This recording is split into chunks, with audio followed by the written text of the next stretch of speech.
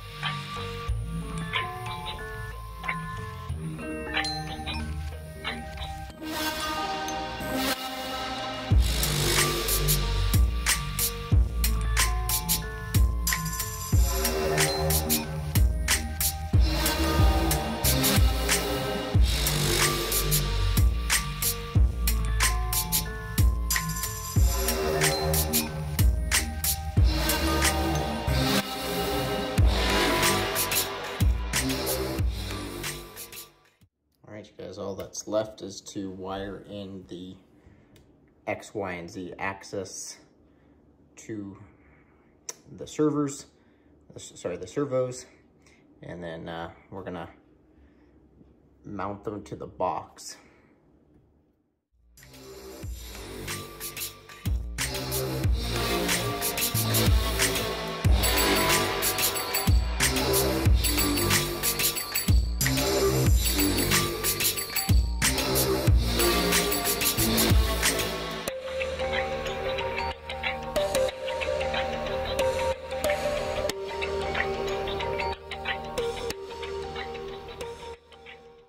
Right, so, eh, holes came out pretty close. I, went a little too far over on a couple of them. I think I got caught up on one of these ribs when I was marking them on the blue tape, but that's okay.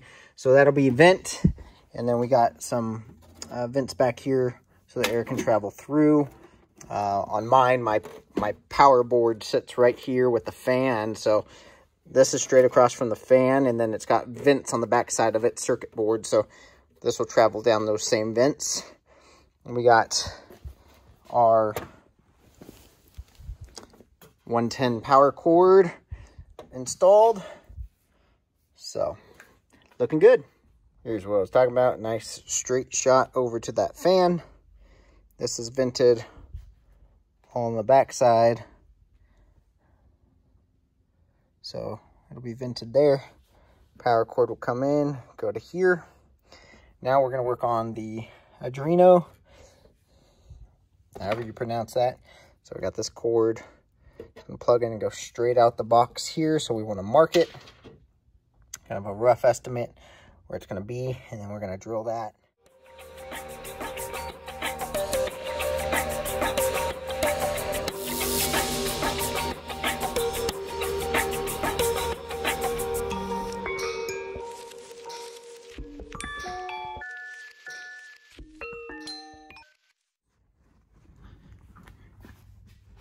Got a nice straight shot to the Arduino.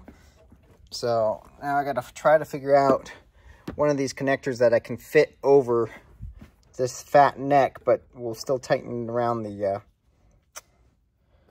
the wire there. What I may end up doing is just having to bulk up some electrical tape around the wire so it can pinch and hold it in there tightly.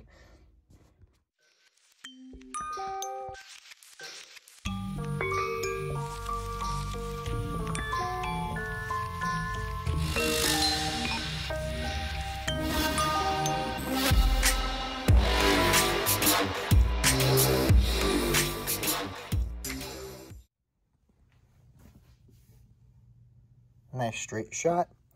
This is tight. Won't be able to pull it out of the Arduino.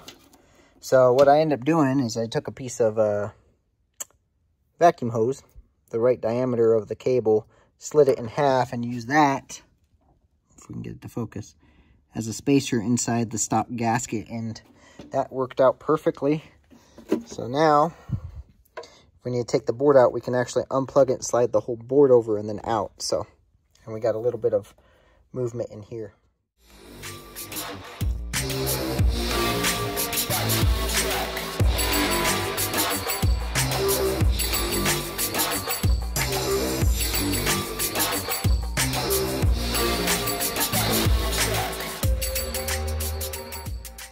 All right, next we're working on our shielded um, trigger wire for the torch. This is the switch that is on the Z-axis. When it touches down, it clicks that little switch. Um, so we're using a three terminal. That way we can pass our shielding. There's our shield wire. We'll pass our shielding through I got this side built already. So again, just like before, I used a little piece of small vacuum line to take up the, the difference there. But terminal one is red, terminal three is black, terminal two is the shield wire. So we'll be able to mount this on the side here and it will wire into our terminals here and here, or whichever two, and then the shielded wire needs to go to a ground, which what I'm going to do is I'm going to run, when I run my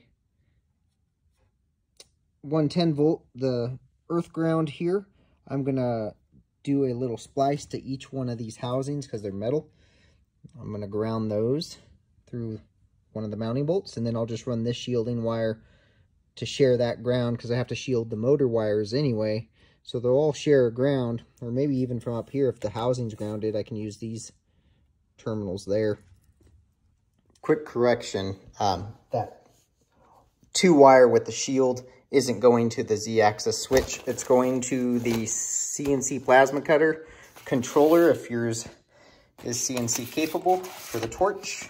And it comes with the connectors here. So it's the pin one and two to the torch itself. Um, and this is for um, part of the other wiring that we'll get into later. I think for torch height controller and everything, which we're going to end up doing eventually. But yeah, so the, basically what we're going to end up doing is taking that shielded wire that I just built, two wire, and it'll come into this, which plugs right into the CNC machine. And then we'll just terminate the shield at this housing so we can actually terminate it inside this metal. Um, that and then it's going to be on it's going to be grounded on the inside of the um, circuit board there. So it'll be a grounded wire all the way up and then terminate it right at the connector. So there's no interference.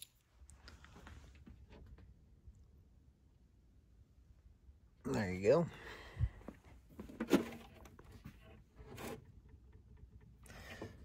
So we're going to do the same thing for the X, Y, and Z axis. So those are, this is a two wire shield. Those ones will be a four wire with a shield. So I'll probably use a, a five plug so I can run that shield through there. But it's getting there. Okay, so um, for the end of this video, uh, we had to order some stuff. It just came in. Um, I decided to go with um, these type of connectors. You can get this entire kit. It's pretty inexpensive on Amazon. Um, but this is going to be the connectors at the motors. Um, we'll end up using whatever terminal amount we need at each motor. Uh, got a big thing of heat shrink um, some wire loom, the good woven kind of wire loom. And then what I also picked up was a ground bus here.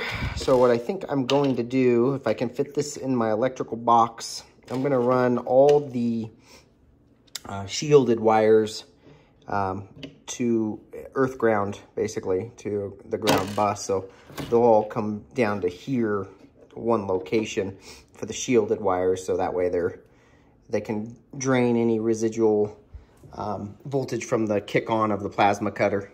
So anyways, guys, thanks for watching. The next episode we bring you will be finishing up the wiring.